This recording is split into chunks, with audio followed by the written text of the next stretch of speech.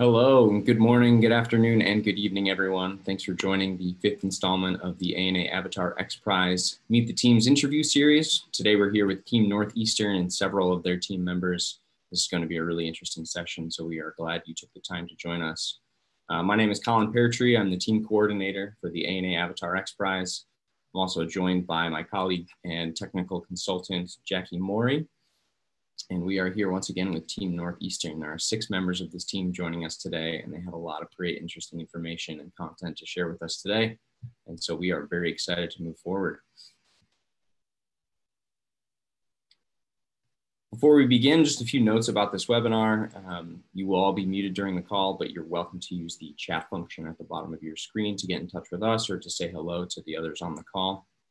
We also invite you throughout the session to submit questions that you have for Team Northeastern uh, into the Q&A function. We'll take some time at the end of the call to uh, add those to our discussion. So we invite you to present any questions to us and we'd be happy to, to take a look at them. A quick uh, overview of our agenda today. We're going to say hello and welcome to you and also to Team Northeastern. I'll be passing it over to the director of the Institute of Experiential Robotics at Northeastern in just a moment. And as I mentioned, we'll take some time at the end of the call to do some questions and discussions with this team. So be sure to submit once again those questions. So once again, we're joined today by several members of a university-based team in Boston, Massachusetts from team or from Northeastern University. The members of this team on the call are decidedly multidisciplinary in their work and studies, and that leads to a highly dynamic approach to their avatar system which you're about to hear more.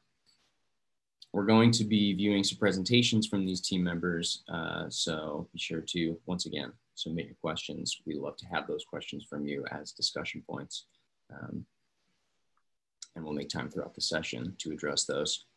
To begin, to begin I'm really excited to introduce uh, Tashkin Padir, who is the director of the Institute for Experiential Robotics at Northeastern University, and he is the leader of the Avatar X Prize team Northeastern. Tashkin, welcome. It's a pleasure to have you here and the rest of your team. Please take it away. Um, Sounds good. Sounds good, Colin. Thank you so much for the introduction.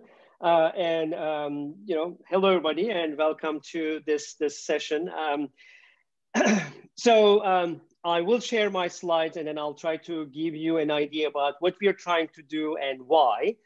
Uh, so let me start with the uh, with the presentation.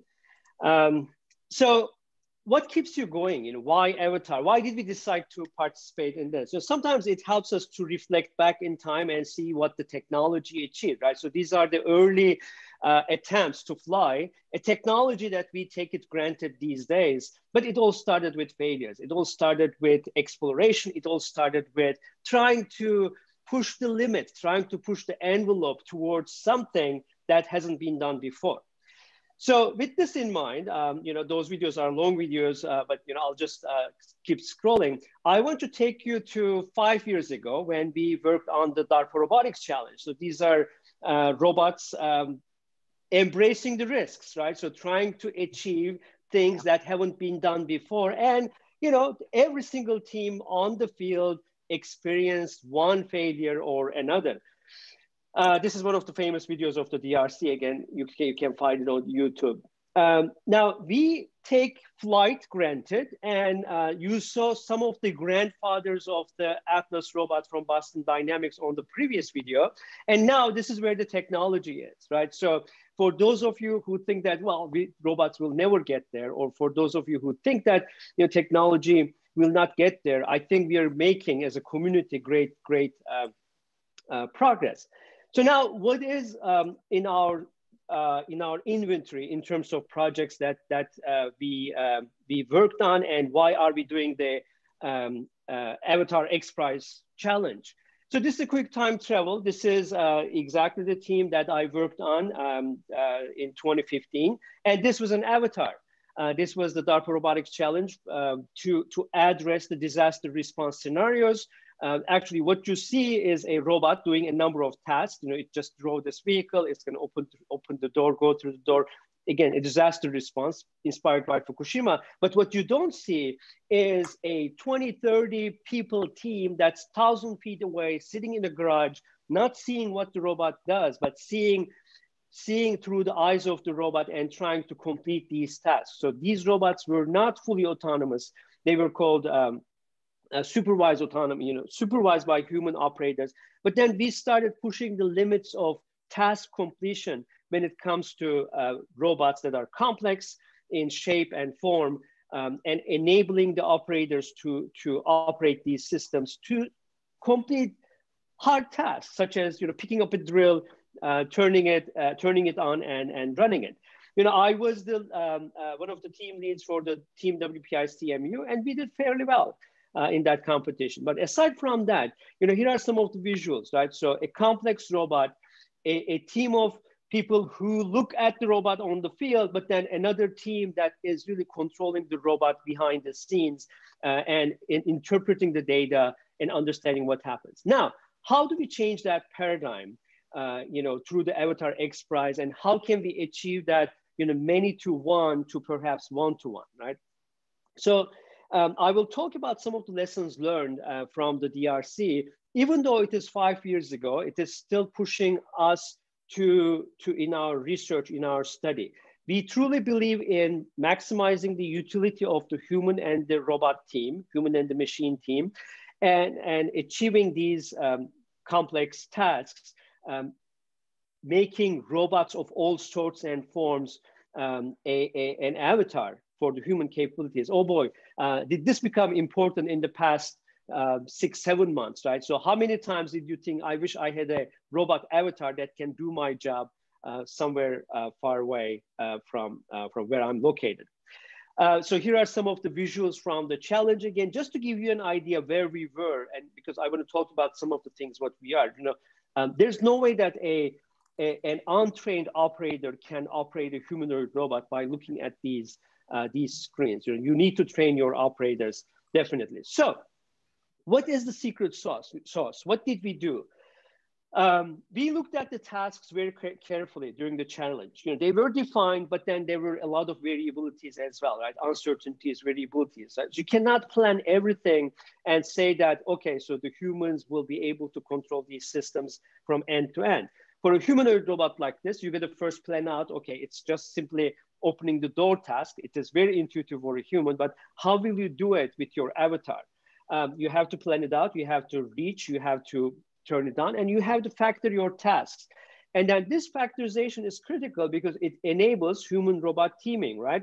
So where do you want your operator input to come into picture? And what does the robot can, what does the robot do uh, autonomously, right?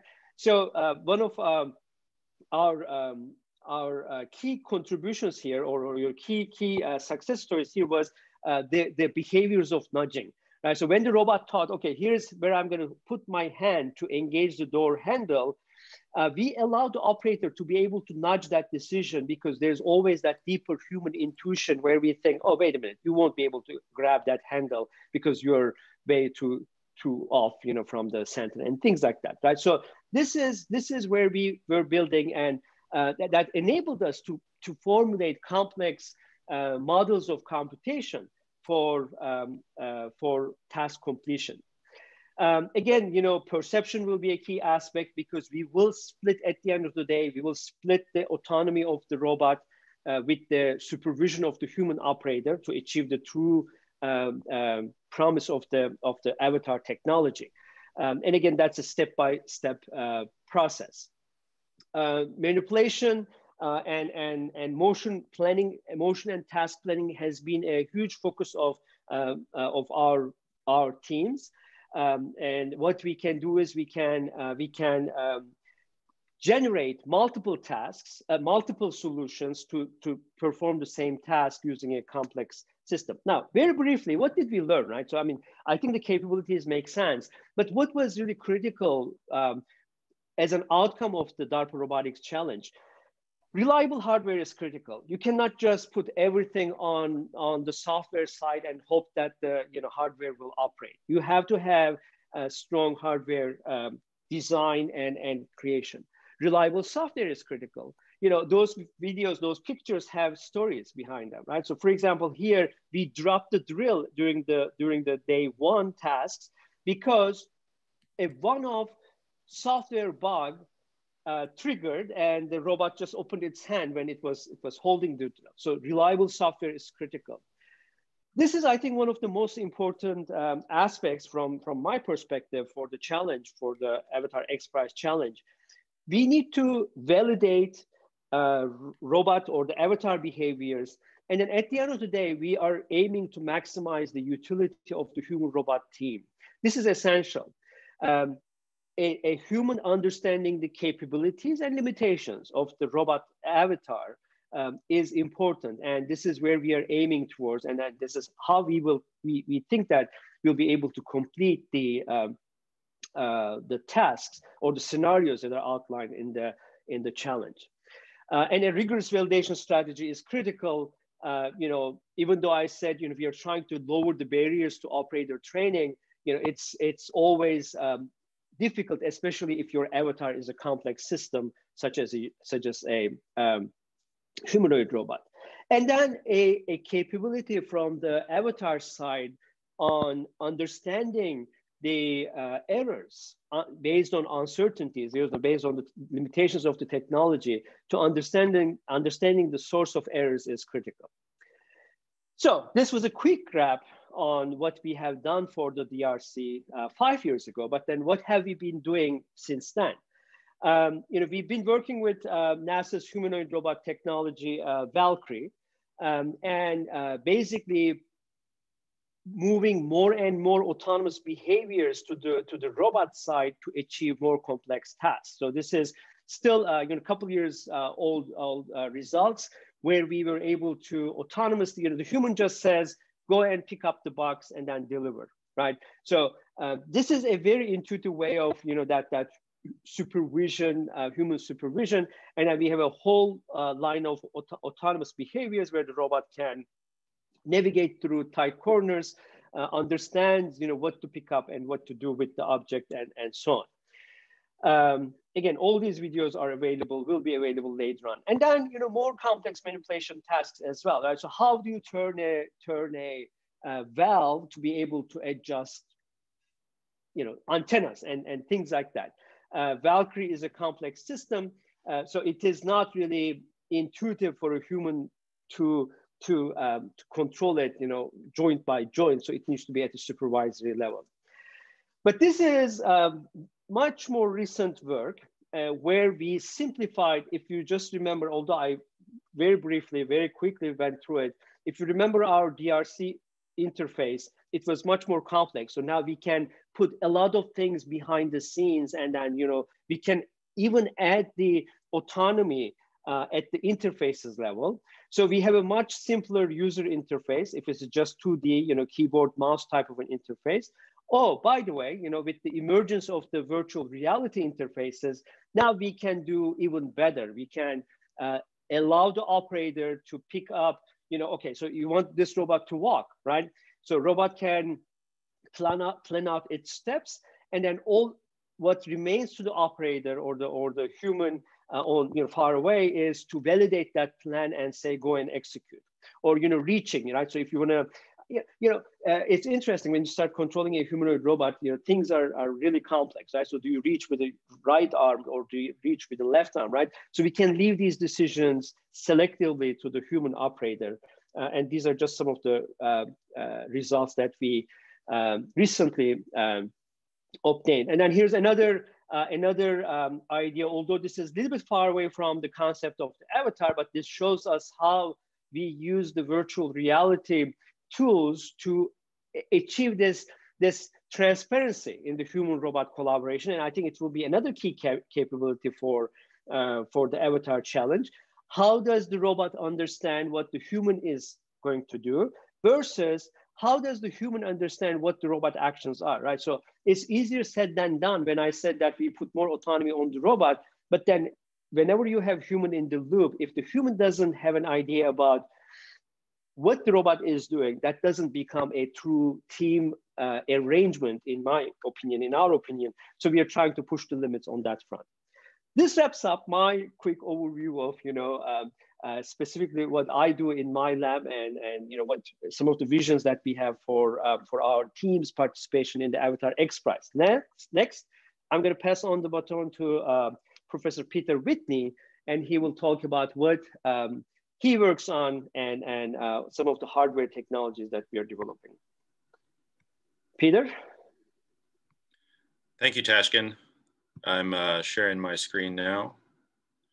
So, uh, so Tashkin uh, took us through a, a, a, big picture of all the pieces that we need to be successful in the Avatar Challenge. And my focus um, and, and one of the critical things that, that uh, Tashkin pointed to is reliable hardware. Um, so I'm going to talk about some of the research I've done in the past and how we're going to bring some of those elements in, in particular for um, hand design and tactile interaction. Um, and after my presentation, I'll pass it off. Um, we have some student groups that are, are working uh, more on the human machine interface side, so exoskeleton design, um, and, uh, and, and bringing some of these elements all together. All right, uh, just a second. So actually, before I came to Northeastern, um, I, I, actually worked for Disney, and this is a project uh, some of you might be familiar with. Uh, this is actually um, an avatar system uh, named Jimmy, and uh, we developed the we developed this system to create um, physically interactive experiences via robots for guests in Disney theme parks. So that's actually uh, me behind the scenes, um, behind the wall, uh, teleoperating Jimmy. And I'll, I'll, speak in a second about some of the, the technology behind the scenes. Um, we looked at a, a couple different approaches. Uh, this is some, some older work using uh, pneumatic transmissions to, uh, to generate very smooth, uh, lightweight robot arm motion. And in the rest of the video, uh, Jimmy is driven through a, uh, a water-based hydraulic transmission.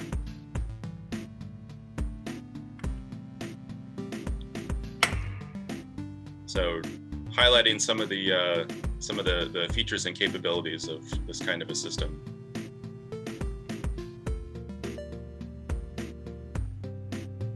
So this is uh, teleoperated needle threading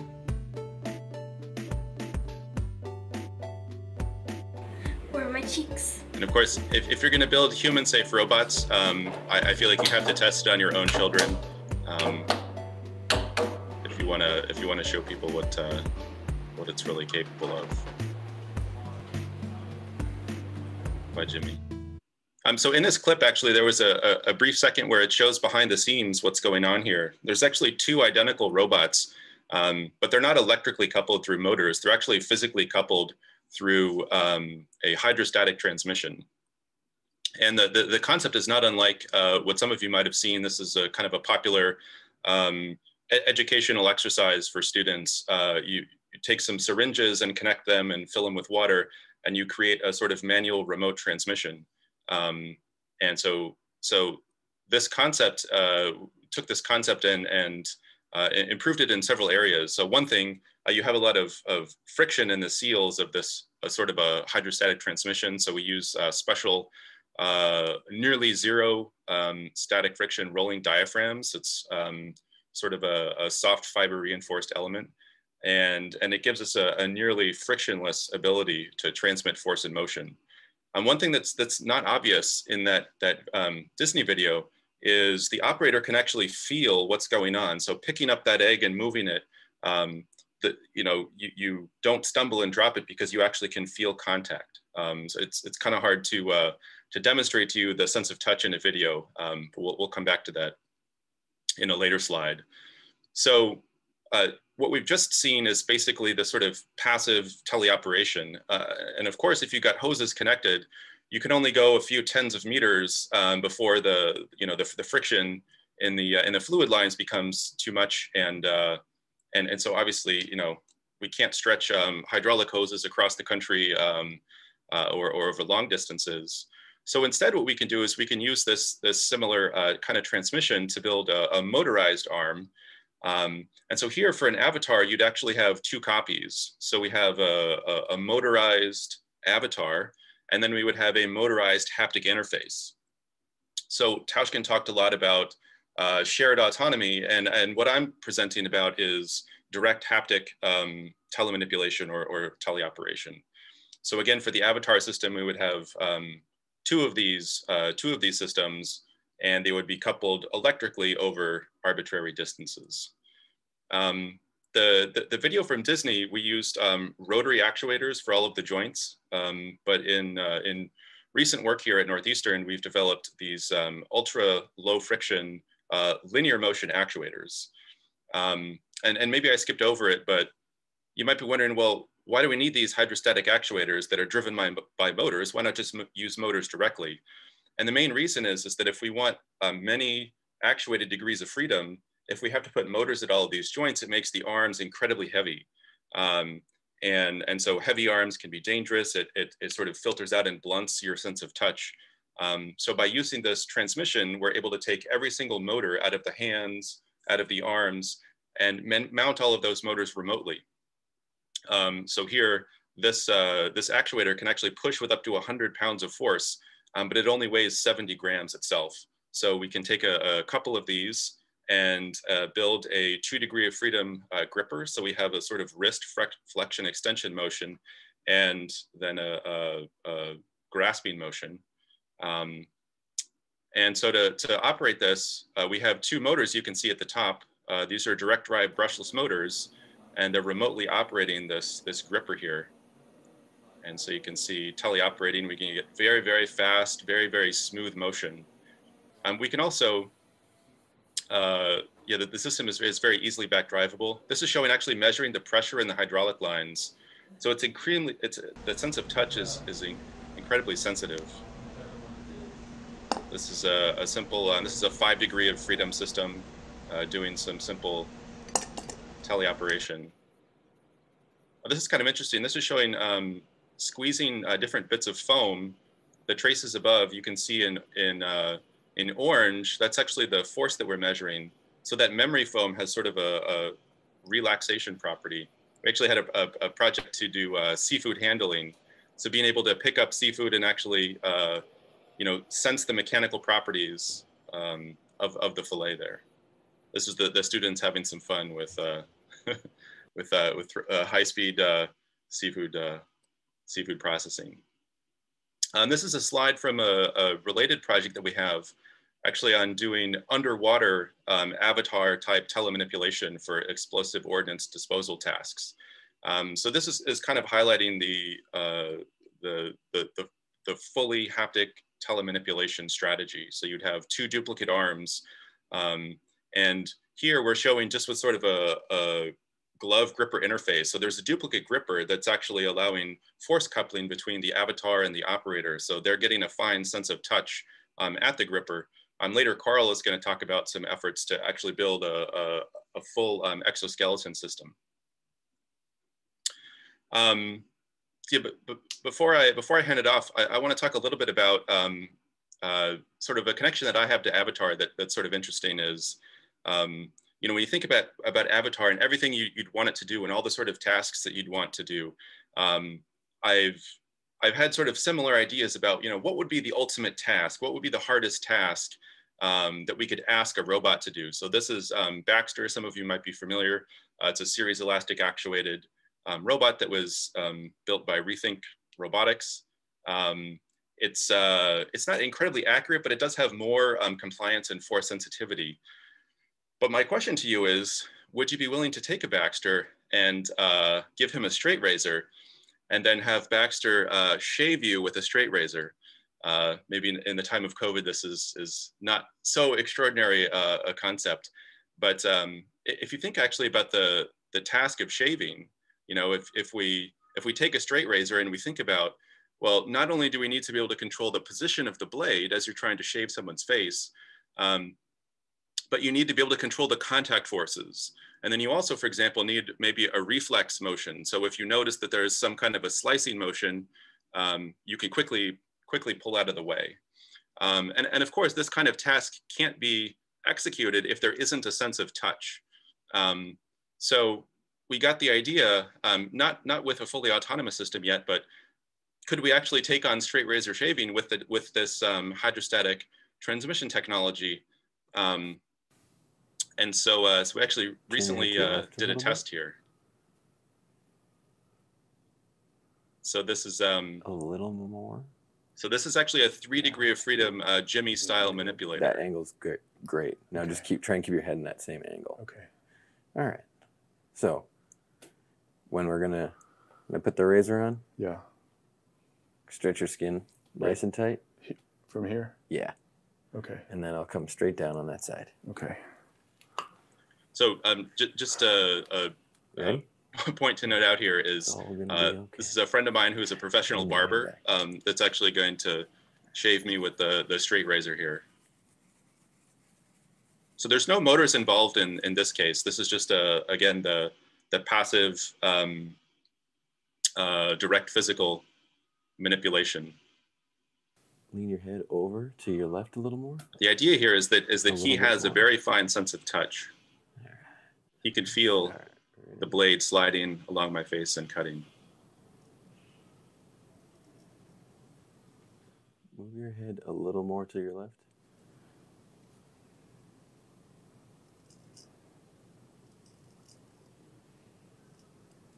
Oh, it feels good.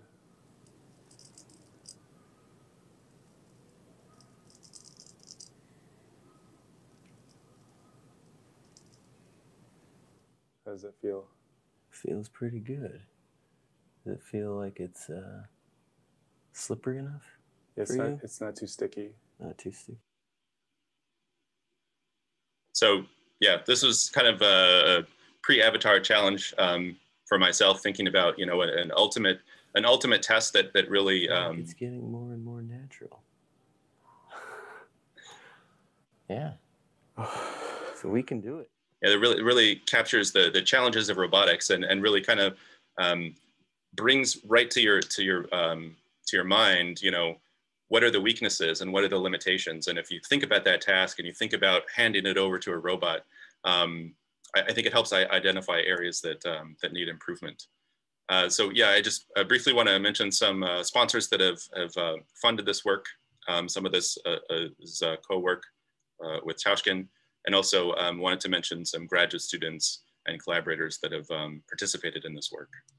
Um, so thank you. Um, I'm gonna hand it over to Carl Swanson. Carl is one of many uh, undergraduate students that are working on several different projects um, to kind of piece together different elements of technology um, with a primary focus on uh, human machine interface.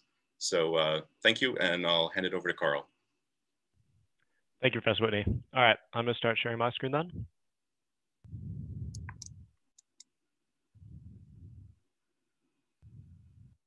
All right, so now as a team, we're going to give a brief overview of the system that we're developing now. So my name is Carl Swanson. I am a senior at Northeastern University, currently pursuing a combined degree in computer engineering and computer science outside of classes, I've spent a lot of time within Northeastern's aerospace organization working on um, anything from drones to avionics bays um, to NASA student launch, which is a competition involving rovers and uh, drones as well. So in a project lead role, I've worked within Northeastern's NUAV group, which is uh, Northeastern Unmanned Aerial Vehicle, working on companion computing between drones where multiple drones um, work together to accomplish various tasks. On co-op, I've worked as a software engineer or co-op at um, iRobot, working on their new Terra lawnmower. Then I worked uh, at Square Robot, working on an AUV, autonomous underwater vehicle that went into oil tanks to inspect them for damage using various sensors. And then I'm currently working at Amazon Robotics on other things. Growing up reading uh, Asimov, my interest in robotics rely in removing humans from dangerous situations and additionally giving them time back into their lives. And so the Avatar project really presents like the perfect mixture of that. I mean, so this project, the, the, Avatar system can remove a human from a dangerous situation for like Fukushima, something like that, a power plant. Um, if someone has to work in outer space, like an astronaut inside a space station needs to very carefully manipulate something to fix a, a satellite, same thing there can work there, but it can also allow us to get more time back into our lives. Like Professor Padir mentioned earlier, removing a human from like a workplace when they don't necessarily have to be there. And now Anya will give her a, I'll lead over to her. Yes, I'm Anya Derrick. I'm a fourth year electrical engineering student at Northeastern University. Uh, outside of class, I've done two co-ops, my first one being at Teradyne um, in the semiconductor industry, and right now I'm at Lutron Electronics doing design and development. Um, my interests are mainly in PCB design, so that's why I joined this project. Uh, and then outside of class, I typically uh, volunteer for STEM mentoring and teaching, as well as some side research projects related to corporate response to social movements.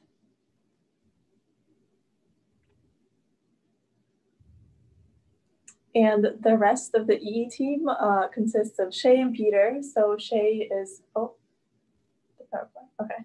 Uh, Shay is um, a fifth year electrical and computer engineering student.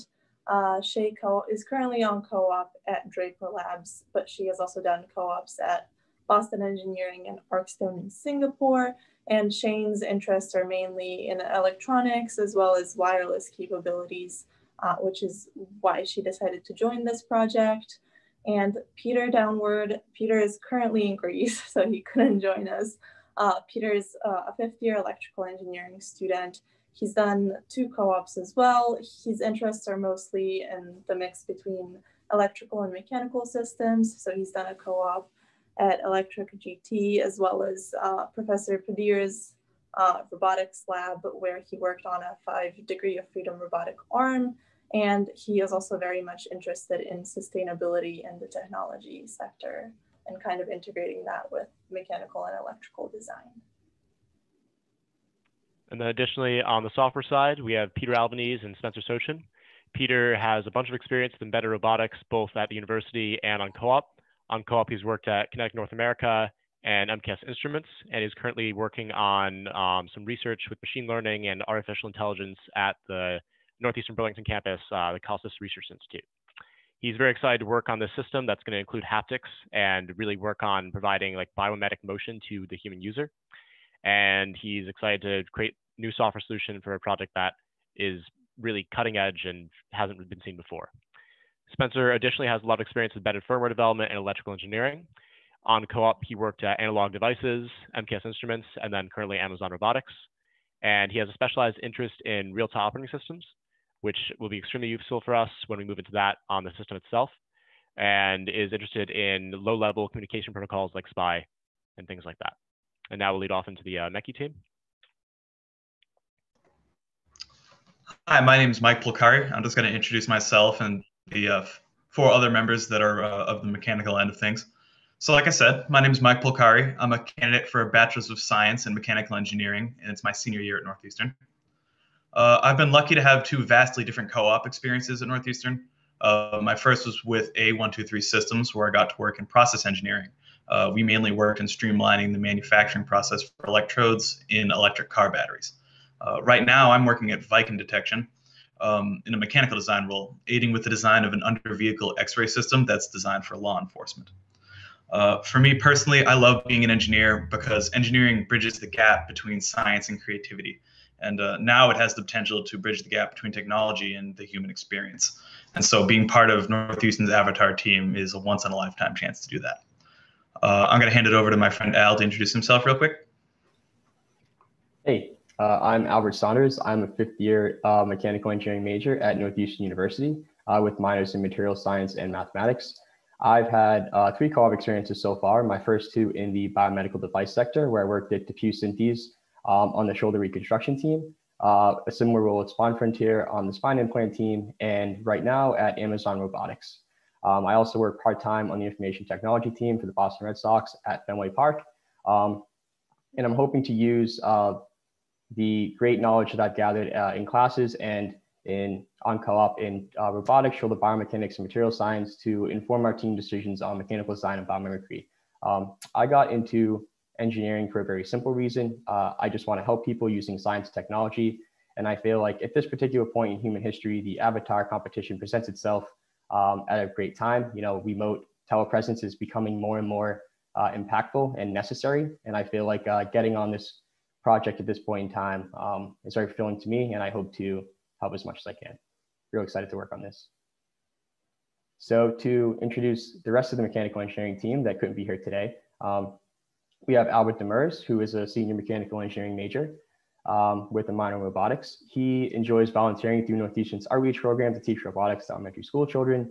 he has held uh, electromechanical co-op positions at Stone Ridge, Instron, and Raytheon, and he hopes to utilize his knowledge of robotics to achieve effective telepresence. We also have Sapir Kansalar, who is a combined BS, MS, uh, in mechanical engineering major. Um, he is a former product design development engineering co-op at Procter & Gamble. He, uh, we're very lucky to have his experience in design for manufacturability, injection molding, um, mold design, and the like. Uh, not only that, he is also professionally certified in SolidWorks, and he enjoys studying a variety of robotics topics. And I'll hand it back over to Mike to introduce John Corey. Thanks, Al. Uh, last but not least, we have John Corey. Uh, John's a senior mechanical engineering major here at Northeastern with a minor in mathematics. Uh, he's also the co-founder and lead project manager at Northeastern's VR Club. Uh, currently, he's working at FLIR Unmanned Ground Systems in an R&D position. In addition to all this, he's also a self-made entrepreneur with a number of patents pending on various products. And he's excited to apply his robotics and VR skill sets towards making emotive and expressive telepresencing possible. So the, uh, the current avatar system was designed with a few high-level design requirements in mind. Uh, the team desired a wearable exoskeleton driving a robotic arm with five degrees of freedom, a three kilogram maximum load at the end effector, and a 0.5 meters per second maximum end effector speed. Uh, the team wanted to focus on biomimicry first to really effectively communicate um, the human presence from uh, one spot to a remote location, uh, while maximizing the positional accuracy of the end effector, um, kind of like what Professor Whitney was talking about earlier to improve safety and allow it to be used around humans. So with those requirements in mind, the current exoskeleton design has four degrees of freedom, three at the shoulder and one at the elbow. Uh, the components are 3D printed to minimize the weight to about seven pounds. All of the joints are directly driven to eliminate backlash, and the shoulder joint has three axes of rotation that intersect at one point, and that backplate is fixed behind the user for usability and comfortability. Uh, straps comfortably fix the exoskeleton to the operator's arm for effective motion. And coming over to the robotic arm design, it currently has five degrees of freedom, three degrees at the shoulder, one degree at the elbow, and one degree at the wrist for pronation and supination. Um, this has brought the total weight down to about 15 pounds, total actuated weight, um, due in part by the spanners that are single 30 millimeter carbon fiber tube, uh, which offer us high stiffness at a low weight. Um, and we utilize 3D printed bonding coupling ends for ideal torque transfer. I'm going to pass it back over to Mike to talk about differentials and get into more of the nitty gritty of our design. Okay, so with specific regard to the robotic arm, it is comprised of three main subassemblies. They are two identical differentials and one shoulder rocker. Uh, the differential itself was designed with modularity and ease of iteration. Differential to mimic either the shoulder or the elbow and to be swapped freely if necessary. Um, each differential is comprised of four subassemblies that you can see here. Uh, they are the motor housing, two identical timing belt transmissions, and a bevel gear drive. Um, this design grants that differential two degrees of freedom. Uh, they're mainly made of 3D printed plastic, but critical components are made of steel, such as the gears, and the overall weight is approximately four and a half pounds.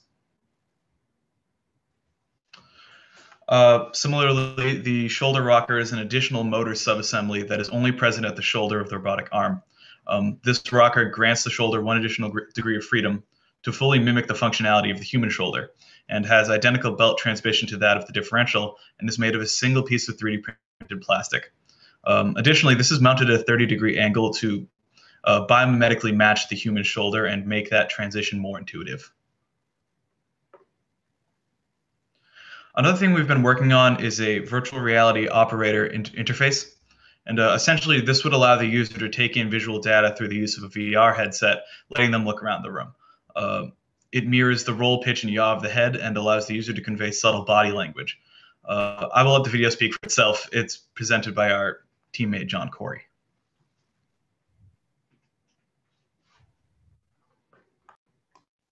The Avatar camera system is able to copy the roll, pitch, and yaw of the operator by converting the gyroscope data from the VR headset into motor commands.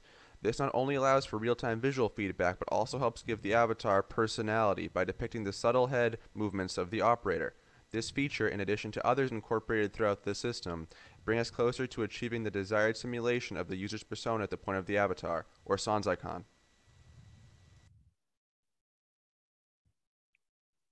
Thanks, guys. All right, now we're going to go into a little bit more of detail on how our software stack is going to work. So on the software side, we're going to be employing ROS as a robotics middleware. ROS is going to handle much of the uh, heavy lifting, including the physical simulation, motion planning, and importantly, the message passing between applications on our arm. Following uh, preliminary research, we're going to be using ROS Control, which is a common ROS package to tie together our simulation and hardware. This is going to allow us to run hardware and loop testing, permitting us to visualize how our arm is moving, not only in the real world, but also in software. So as I mentioned before, we're leveraging ROS Control to provide this interface between the simulated real life and simulated and real life environment. It also gives us the ability to tune uh, easily the PID loops for our system and gives us the ability to send simple effort commands to our arms joints, which then are seamlessly translated into electrical signals sent to our ODrive boards. ROS is going to assist in creating a software structure where each one of our nodes can easily access information from all the other nodes on our system. In such a complex system, simulation is more important than ever. By simulating our robotic arm, bugs that may cause our arm to physically break in the real world will instead, will instead just simply fail in the simulation.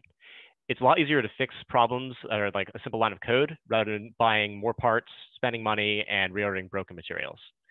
To simulate the motion of our arm, we're going to be using Gazebo here. It's a real-time physics simulation that hooks into ROS, and by using an accurate model of our arm, with mass distributed correctly across the model, we will additionally be able to simulate PID tuning in software. Using Gazebo has additional benefits as it's going to allow us to visualize the requested and actual position of the robotics arm as it is commanded by the exoskeleton. All right. At this point, I'd like to go through and run a demo. So I'm going to switch over to my phone. One moment. That will take me just five seconds here.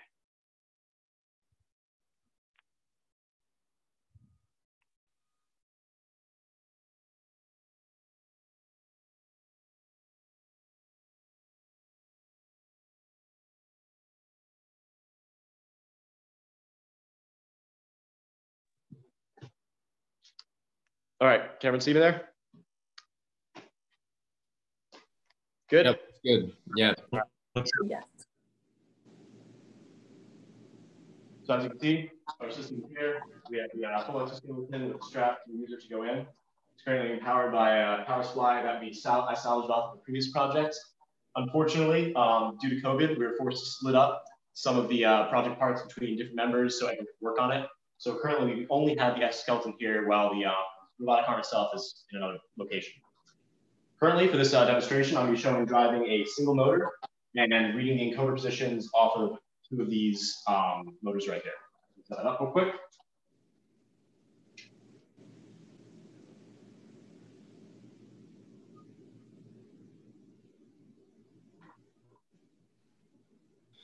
All right. So it's fairly easy for the user to uh, strap in. Essentially just mount this right above the elbow. Connect it down there. And then if you watch my arm here, I am mirroring the movement off of this single joint onto that joint over there, onto that single ODrive, powering that motor. It mirrors it quite well. So if I even like make my new change like one degree, it's extremely responsive and this will allow the user to perform very um, delicate tasks and in general, them to act like a human would in a normal situation. Now, I'm uh, working with this, Anya is going to give a couple uh, just details on how we chose encoders for our system and the power systems in general. Yeah, so as you can probably see hanging off the side there, uh, we are currently at the moment using ODrives to uh, control our motors uh, drives are open source and affordable, so they gave us the flexibility we needed in times of COVID to quickly and rapidly just integrate everything. Uh, we did create our own um, encoder PCBs that are mounted. There, there are slots inside the exoskeleton where the encoder PCBs are mounted, and we specifically picked on-axis magnetic position sensors to do our encoding, um, specifically the AS uh, 5047P because it's high precision, high speed. It has 14-bit core resolution. So it really gave us um, what we needed in terms of um, having precise motion and being able to mirror it. Uh, at the moment, we're using SPI as our communication protocol for the encoders, but um, we did pick an encoder that does have uh, options for both absolute and incremental positioning. So we can, in the future, uh, potentially add that uh, to our system. And then we do also plan on developing custom controllers in addition to the ODrives, uh, just to give us more flexibility in terms of uh, picking our communication protocol, although all, all drives did recently start supporting CAN communication, which is what we do plan on using. But having our own board will enable us to kind of integrate the controller part of our system with um, the encoders and kind of have it all in one uh, single board with the communication protocol that we want. Uh, and it's sort of future proofing us in a way because if we end up uh, adding any functionalities to our boards in the future, um, it will be easy to just add that on instead of starting uh, from scratch pretty much. But yeah, uh, we are using uh, or planning on using STM32 microcontrollers for those boards, which are going to be modeled after the ODrive, but uh, we're gonna add our own flair to it. to show another demo of how we're able to accurately read the uh, positional values from here. Put this on. This is from the uh, one of the shoulder joints and then the arm joint itself.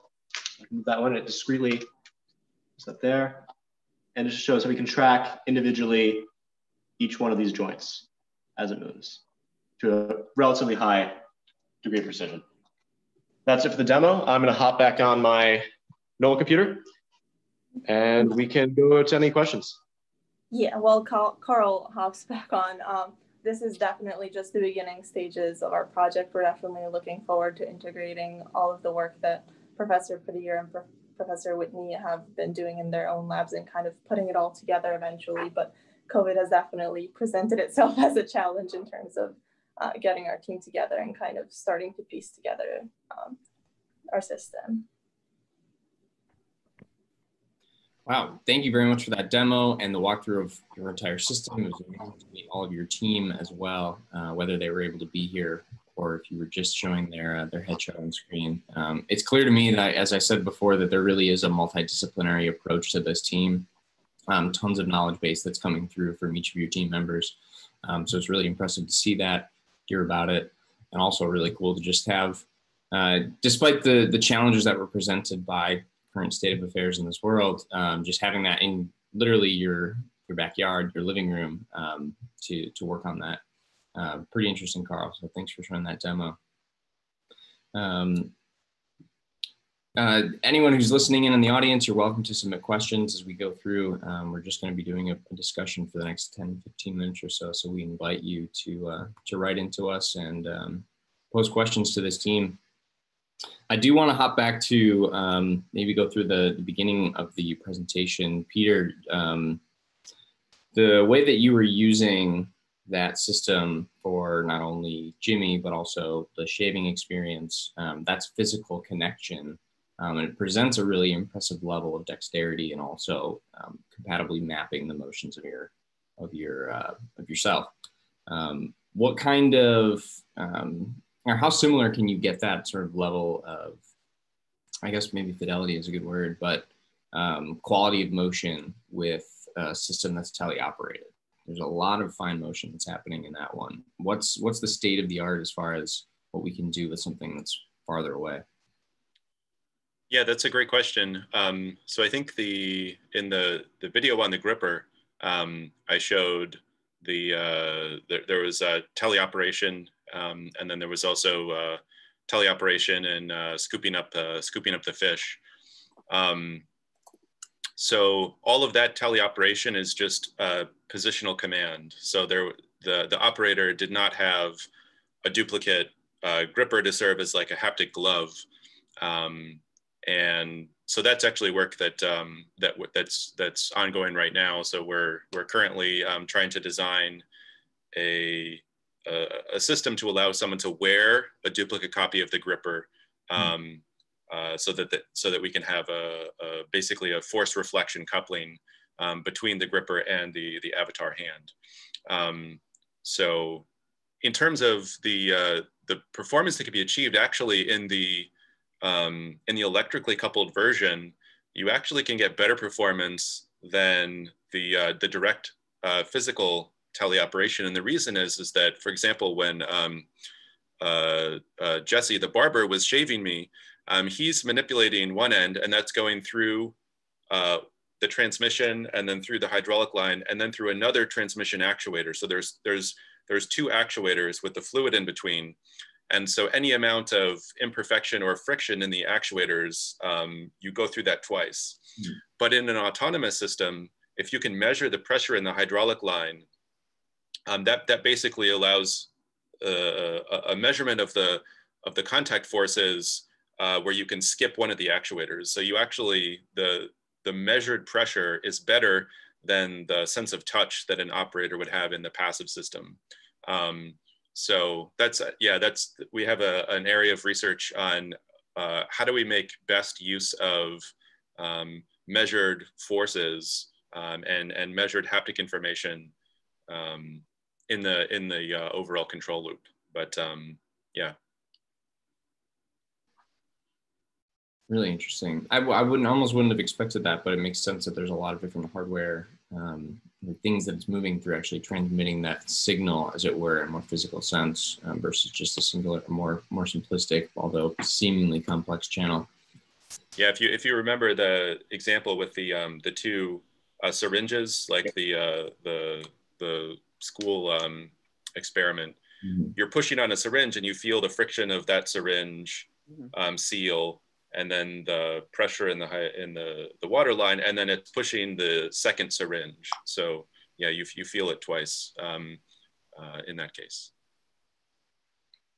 Have you guys uh, decided what the actual form of the avatar robot will be yet? You've got all the parts going there. I just wondered what you're going to do for the final. I'll take this question on. How about that? Good. Before so, you um, as, as, as as you mentioned, um, I we think that we have the foundational blocks to put it together, and uh, we've been waiting for the final scenarios to be announced so that we can analyze them and and mm-hmm. you know decide uh, where to go. And now that they are out uh, as of last month, um, you know, to to answer your question in short, no, we did not settle on. Okay, here it is yet. However, we have, I think in our inventory, we have quite a few platforms that will serve well for the, uh, for the announced scenarios for the semifinals. Uh, but then eventually, you know, we are converging as, as the team mentioned on integrating all these different little pieces together uh, to have the whole system set up. Yeah, I think it's great that you're you're trying to put that human experience into the the whole robotic system, and I I loved the little um, the demo you showed with the two eyes and and trying to get the persona of the operator in there, even with just two camera eyes. I think that you know you can do a lot, and it doesn't have to be you know fully formed humanoid robot. It can do um, as long as it can connect to two people together that that's what we're going for. That's why we are known as the Institute for Experiential Robotics to enrich to enrich human robot experiences. Thanks, Tashkin.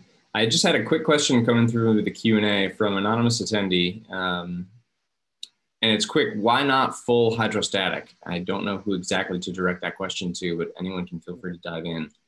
Yeah, I, I can take that. Um, so that's um, that's a great question. Um, I mean, we we do have projects where we're envisioning building a, a fully hydrostatically actuated system. Um, sort of a trade-off between uh, complexity and performance. Um, and another way to think about it is that if you think about from your fingertip to your hand to your wrist to your elbow to your shoulder, um, the the closer you get up towards the body, up towards the shoulder, um, you know, the more you need your joints to be stronger and, and, and more pre precise. And the closer you get out towards the fingertips, um, the more you need the system to be able to behave compliantly and to, and to be able to measure forces. So out at the fingertips, out in the hand, um, the very low friction hydrostatic um, driven, remotely driven system, I think is definitely the best option. I mean, if you if you tried to build a direct drive motorized gripper, uh, that's going to be incredibly heavy to have those um, those big motors out there, um, where the mass penalty is is the worst. Um, you know, the farther away you are from from the shoulder. So, um, I, I, yeah, there's a there's a range of solutions uh, which could involve, you know, maybe having hydrostatic hand and wrist. Um, and then having a, a, a more traditional motorized um, upper upper body. Um, and uh, another thing is actually the, the exoskeleton design that we're working on. Um, it's actually fully motorized. but um, but each joint is direct drive, and it's and it's actually designed not to exert the full um, torque that the avatar is capable of. It it has a, a force scaling, um, because what we found is for the human operator, they don't necessarily the the the interaction forces. Uh, you, you, don't necessarily need to be able to feel the full magnitude of it, um, but it's it's about changes in forces. You know, if you're touching something or if you're sliding along and you're feeling friction, it's those it's those force vibrations that are really giving you that um, that tactile uh, uh and proprioceptive feedback. Um, so yeah, so uh, again, in in in terms of uh, making things simpler, you know, not having motors and motor control and a hydrostatic transmission and all of the the complexity of that. I'm just having a simple lightweight electric system that's not capable of full strength, but it's capable of, of full haptic quality um, is the direction that we're, we're going towards. And so that system doesn't have a gripper at the end. And so the, that um, uh, is is slated to be hydrostatically actuated. Yeah. Got it. Yeah, Carl or anybody, anything to add about the the exoskeleton system itself and where things are going next as far as how you're developing it, next stages of testing, other things to, that are going to be integrated with that? Yeah, so I think Professor Whitney just explained quite well there the plans moving forward. I mean, this it's a back drivable system, so the user can't experience like haptics on it themselves. That is one of our next steps. Um, we've taken kind of like a complete 180 from our, our previous direction, which was a custom developed PCB using a, uh, a TI chip. And now we're moving on to using a more open source um, solution called ODrive, which is uh, one, of, one of our sponsors now as well. And it's an amazing, uh, so it's a single board that allows, it performs like all the PD tuning um, for your robotic system and allows you to very easily create a system that can be back driven. So we're currently using, you might have seen uh, the taped board onto the arm there that I was working with. That's our, our solution for now. It's going to change very soon. So we have a mechanical mounting option. But what we're trying to do now is move that onto a footprint that can be put onto the back of the, um, the current motors we have. So currently we have these PCBs that Anya designed that only read off the encoder value and then report that back to the ODrive. Once we can pull the chips off the ODrive and make our own PCB, we can get them to much smaller form factor. And this is going to let us move forward to actually like back drive these motors um, and give the user the, an idea of like a true haptic feedback and make them feel like they're really in that situation. So that's where we're going on this year. I think end of this year, our goal is backdrive the, um, the exoskeleton to give the user that true like haptic feedback. I just have to say that the fish demo and haptic feedback together just boggles my mind. I can't imagine really feeling fish. Not that you're doing that, but uh, it, it, was something I'd never thought about um, how something could uh, handle uh, an object that has such a strange texture. Well, I also really appreciated the quote unquote high speed seafood handling as a scenario. So I think that maybe there's there's more of a future there as fishing is a big industry, I understand in the Northeast. Um, what so you mentioned you talked about shaving as an as an ultimate task for the use case of this avatar. I'm curious, um, maybe Albert or Mike or Anya, if there are other use cases that are sort of inspired um, your development or the way that you've applied your knowledge to this challenge. Um, maybe I'll go to Anya if there's any thoughts that you have on, you know, what, what's a use case that, that that really has driven the work that you've done.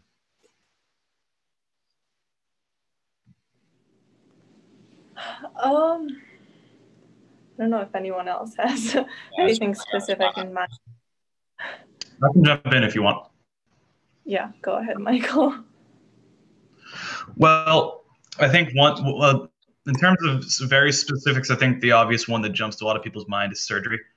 Um, there's only so many high-level surgeons in this world, and obviously, you know, travel being a thing is um, limits the access of care for a lot of people. So, if you can get a telepresencing robot to the accuracy and responsiveness needed for some kind of complicated surgery, that could save a lot of people's lives. Um, and additionally, there's also like search and rescue situations, anything where the human life would normally be in danger and you require a human level of interactivity. Those things need to be done through telepresencing in the future.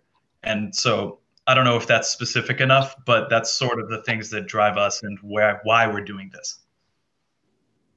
And um, I think just to add to that, Mike, um, for me at least, uh, the public school system has been um, instrumental in getting me to where I am and, and, and proceeding to where I'm going. And I think that uh, in the current state of affairs, a lot of schools being shut down and things like that, people are looking for a solution as to how teachers are going to interact and, and successfully teach their students and how coaches are going to interact and successfully teach and coach their athletes.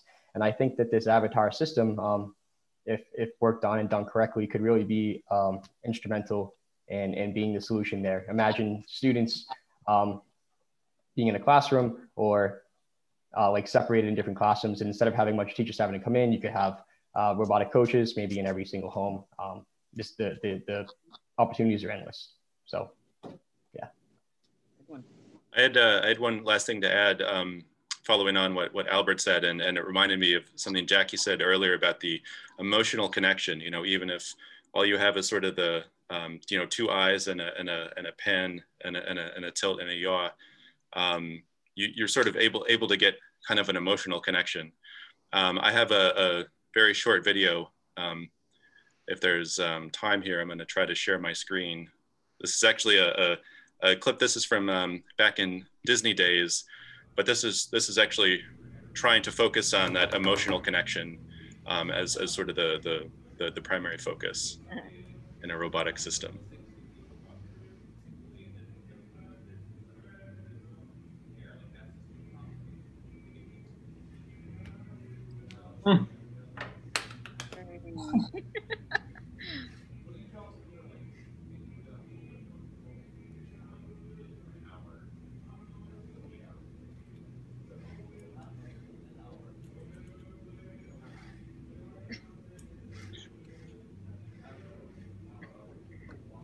So I think it, it, it actually doesn't take a it, it doesn't take a, a, a really human mimetic system to necessarily uh, be able to convey a lot of emotion. And so one of the things that um, you know interested me at Disney and that and that interests um, me about Avatar is is the ability to have an enhanced emotional connection with someone, you know, in, in ways that just with a sort of a flat screen and no physical interaction is is missing.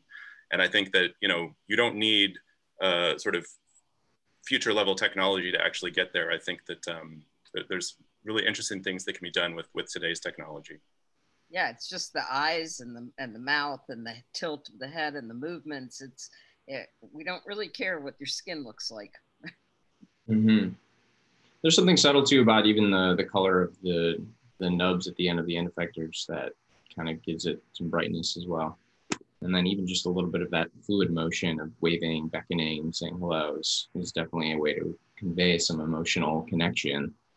Uh, even though it would, it's really just a, a mechanical being right in front of you. Yeah, appreciate you sharing that. It's a really great uh, tie-in to connection, especially to what Albert mentioned about having a, you know, having or conveying presence in a way that doesn't um, doesn't limit the experience that that maybe students would have, teachers would have, in really important roles that require connections.